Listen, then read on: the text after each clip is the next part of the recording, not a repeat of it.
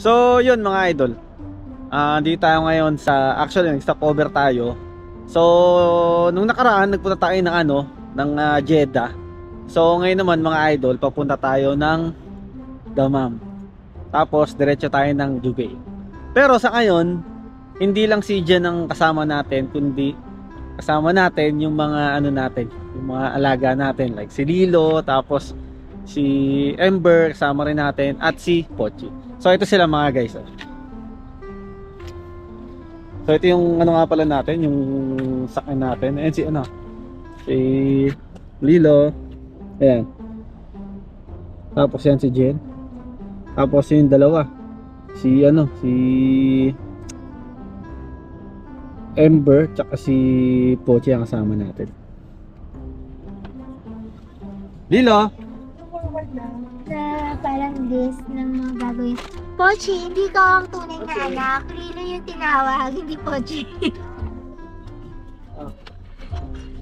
Ay. O tapos, So yun mga idol.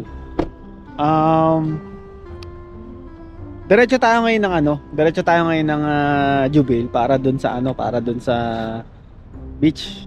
So papasyal natin yung mga alaga natin. Then yun, after nun, um, diretso tayo dun sa tutuluyan natin. Then papakita ko rin sa inyo kung saan tayo tutuloy. So as of now, hindi tayo ngayon sa ano, sa Sasco. Yan. So nag-ano lang, nag-stop over lang dahil um, kailangan nating mag-toilet. Tapos yan. Tapos maya maya, alis na tayo. So, good morning. Good morning na, mga idol. Ayun. Pangalawang stopover. Eh, medyo nahihinga tayo. Saka bumili tayo ng ano, ng chocolate. Para at eh, medyo hindi tayo antok eh, nakakantok. Kailangan mas tayo.